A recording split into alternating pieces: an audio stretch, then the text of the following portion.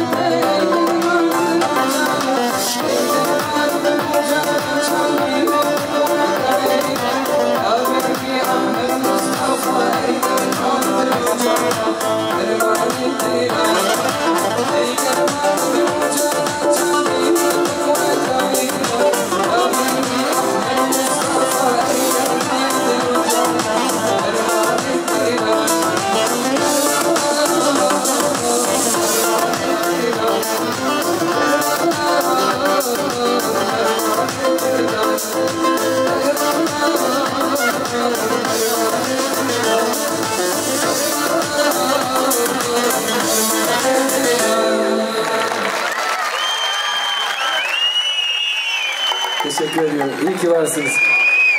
İnanın çok özlemiştim İran şehri. Sayın Başkanım çok teşekkür ediyorum. Allah razı olsun. Bizi buluşturduğunuz için. Cenab-ı Hak inşallah hayırlı hizmetlerinizde her zaman yardımcınız olsun.